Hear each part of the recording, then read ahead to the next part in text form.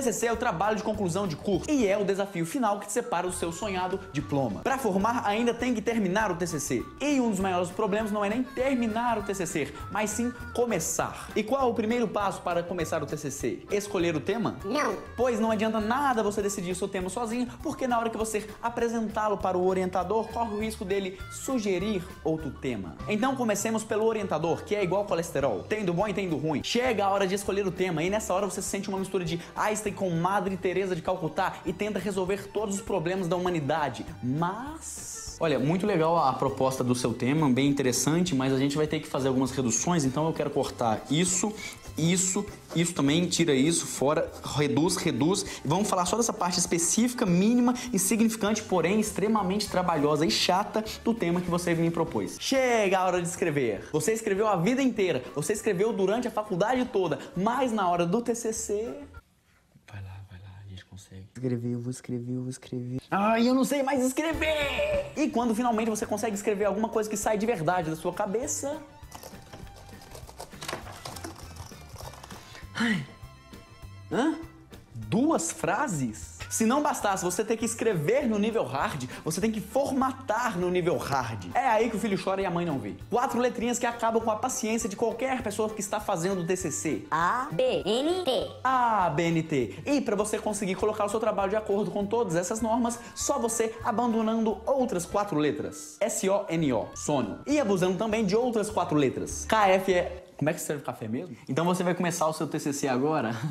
Então eu sugiro você dar adeus à vida e dar um oi para a BNT.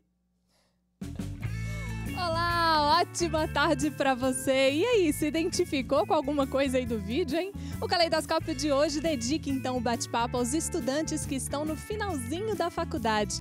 Tô formando, mas ainda não tenho ideia de como nem por onde começar o trabalho de conclusão de curso, o famoso TCC que é um trabalho desenvolvido por todo aluno universitário para, demonstrar então conhecimento científico conquistado ao longo aí da graduação ou pós-graduação. O TCC pode ser apresentado de diversas formas e varia então de acordo com a instituição de ensino e curso.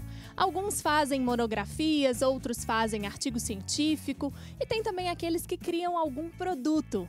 O que todo mundo concorda quando o assunto é TCC é que dá um trabalhão. E quando se fala em normas da ABNT, então, ixi, aí é que tem gente que se desespera, que contrata até pessoas para colocar então o trabalho em ordem. E para você, quais as grandes dificuldades quando o assunto é TCC? Sem estresse. Vamos te orientar no programa de hoje. Participe aqui com a gente com perguntas ou comentário pelo Twitter ou Instagram no arroba Caleidoscópio TV. Tem também o facebook.com barra programa Caleidoscópio TV. Ou então pelo telefone, é, pega lá o 32090113. E para você que quer participar com a gente pelas redes sociais, fique ligado nos presentes que nós temos para você. Que tal ganhar um par de convites para o cinema? Entre no site da TV Horizonte e faça o seu cadastro para participar. Toda segunda-feira tem um ganhador. Quer fazer um passeio em contato com a natureza em um lugar que mistura cultura e lazer? Conheça o Parque Ecológico Vale Verde, que fica em Betim, a apenas 42 quilômetros de Belo Horizonte. Concorra a dois ingressos para visitar esse paraíso. Vá no Facebook do Caleidoscópio e saiba como participar. Daqui a pouco, então, tem mais parceiros do Caleidoscópio. Vá lá e participe! Vamos então dificultar. Opa, não, dificultar não, né? Vamos facilitar a vida de quem está desesperado com o TCC. E para essa conversa, eu tenho o prazer de receber aqui no estúdio o professor Sérgio Murilo. Ele é professor de filosofia da PUC Minas. Seja muito bem-vindo, viu, professor? Obrigado, boa tarde. Boa tarde. Tem muito esse desespero mesmo, professor? Principalmente o senhor que orienta aí estudantes. Tem muita gente que chega no finalzinho do curso e fica desesperado com o TCC? Infelizmente, sim, né? Porque eles não entendem que, na verdade, o TCC começa no primeiro período. Você tem que começar a pensar academicamente como é que se faz um trabalho. Essas normas da BNT não é nenhum bicho de sete cabeças. Agora, qual que é o problema? As pessoas deixam para pensar o trabalho no último semestre. Aí tudo na última hora não, fica dá apertado, certo. Aí fica difícil. Fica apertado, é isso aí, professor. O Bruno Castro está aqui com a gente também. Ele é cofundador do Trabalho ABNT. Tudo bem, Bruno? Obrigada, viu? Tudo bem, é um prazer estar aqui. Prazer todo nosso. Inclusive, você desenvolveu aí uma ferramenta para ajudar quem tem pânico da ABNT, né? Sim, ela está em desenvolvimento. A ideia é justamente simplificar as normas da ABNT para que o monografando, né, ele tenha facilidade em se concentrar no seu trabalho, que ele não se preocupe com toda a parte de formatação que será feita da forma mais automatizada possível. Beleza, vamos mostrar um pouquinho desse trabalho também. Aqui com a gente a Priscila Lago, designer gráfico. Seja muito bem-vinda, viu, Obrigada, Priscila? boa que tarde. fez um trabalho aí diferente, né, no final de curso. Foi bem diferente, não foi a monografia como todos estamos acostumados, mas foi um trabalho prático. Que ótimo. E vamos deixar no suspense, então, pra Sim. gente contar daqui a pouquinho pro pessoal de casa. O Davidson Vitor Felisberto tá aqui com a gente também, estudante de, de engenharia mecânica. Seja muito bem-vindo, viu? Obrigado, Simone. Boa tarde a todos. É um Boa prazer tarde. estar aqui. Prazerão te receber. Aqui, como é que tá? Você já tá quase pra formar, né? É. E tá nesse período. É, tô nesse período de TCC, realmente bate um desespero quando vai chegando os últimos semestres e realmente não pode deixar para começar no, no, fim, no final. Tem que começar desde o início do semestre planejando, porque senão junta com prova, junta com trabalho do semestre e aí não sai nada bem feito. Pois é, e você já está numa segunda experiência, na verdade, né? Porque você fez um período de intercâmbio e aí você tinha começado um processo do TCC e agora retomou. Como é que foi isso? Sim, antes de fazer o meu intercâmbio, eu che- eu cheguei a fazer a primeira parte do TCC e interrompi por causa desse intercâmbio e agora que eu estou de volta ao Brasil, eu resolvi começar um novo TCC desde o início. Legal, ou seja, duas oportunidades, né, professor? O professor já fez assim, ó, e no palco do Caleidoscópio hoje. Eu tenho o prazer de apresentar aqui para vocês. Vamos trazer música boa, Hanna. Hanna, seja muito bem-vinda, viu? Hanna Quaresma aqui hoje. Brigadão pela presença. Nada, eu que agradeço. É um prazer enorme sempre estar aqui no programa Calidoscópio com vocês, esse bate-papo gostoso. Valeu demais. Aqui, você tem um público jovem, né? Sim. Você deve encarar uma galera também, muitos fãs desesperados com o tal do TCC, né? Não, com certeza. É uma dificuldade para todo mundo. Inclusive, tem alguns aqui que já passaram por isso, viu? É mesmo? Bom, vamos aproveitar e apresentar essa galera que veio hoje te acompanhando? Então, à minha esquerda tá aqui o Caio Leite, Aí, Caio. no violão. No backing vocal, Anderson Otto. Beleza, bem-vindo. E no outro violão é o Rafa Nogueira. Valeu aí, Rafa. Então daqui a pouquinho então a gente começa com um som para eu continuar esse papo aqui com essa com essa galera, tá? Tudo bem. Fiquem à vontade aqui para participar com a gente também. O Davidson, essa segunda oportunidade que você teve te ajudou a repensar a forma de fazer o TCC? Porque acredito num primeiro momento você- você já tinha pensado, tinha estruturado esse TCC bem? Olha, a primeira oportunidade é, não foi um, um tema que me agradava bastante. Eu tinha, eu estava fazendo junto com os meus amigos.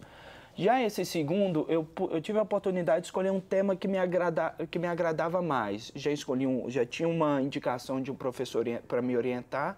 E dessa forma, e, a- e nessa segunda oportunidade, eu acho que está sendo me, mais, melhor trabalhado, pelo menos pela minha parte. O primeiro eu não tive tanto, tanto, tanta participação porque eu também estava preocupado com a questão do intercâmbio, que eu já estava eh, estudando Se envolvendo como... também de outra forma, né? Uhum. E aí, por exemplo, o professor colocou aqui essa questão de se envolver logo no início, né, professor? Isso, exatamente. Hoje, que você já está aí no, final, no finalmente, né, quase terminando o curso, você acha que isso foi um complicador para você? Assim, se você tivesse se envolvido desde o início, possivelmente esse processo teria sido assim um pouco menos doloroso? Olha, se envolver no TCC desde o início do curso, eu acho que é um pouco difícil, porque você vai descobrindo a parte que você quer trabalhar no decorrer do curso, mas a segunda metade para o final do curso. Então, sim, desde, desde a segunda metade do curso eu já tinha essa área que eu queria trabalhar, que eu queria estudar, que é que eu es- estou estudando agora, nesse meu segundo TCC. Beleza, vamos então começar com música aqui. Aproveitar que a Hanna tá aqui animada para trazer um som pra gente, né, Hanna? O que, que você vai tocar agora? Então, nós vamos de Até Você Voltar, que é uma música que tá bombando aí. E a galera toda universitária, inclusive, adora. Pois é, você tá trazendo aí um pouco desse sertanejo universitário, né? Isso, a gente trabalha, atua nessa área do sertanejo universitário. E a gente procurou trazer hoje um repertório que está mais na boca do povo e que os universitários adoram quando sai da faculdade para um barzinho ouvir. Legal, tudo a ver então com o programa de hoje. Bora lá? Vambora. Até você voltar, interpretada por Henrique Juliano e hoje Ana Quaresma. Aí, vamos lá.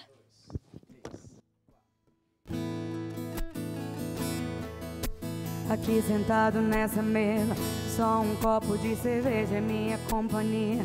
E essa casa está tão cheia e parece vazia sem você comigo. E hoje tá fazendo um ano.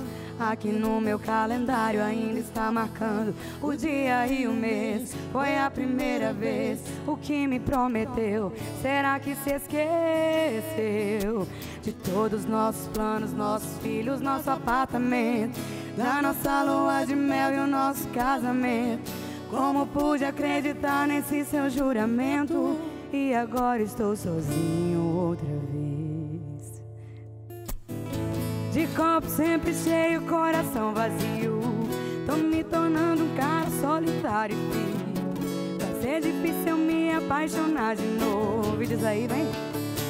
O pessoal. Antes embriagado do que iludido. Acreditar no amor já não faz mais sentido. Eu vou continuar nessa vida bandida. Até você voltar.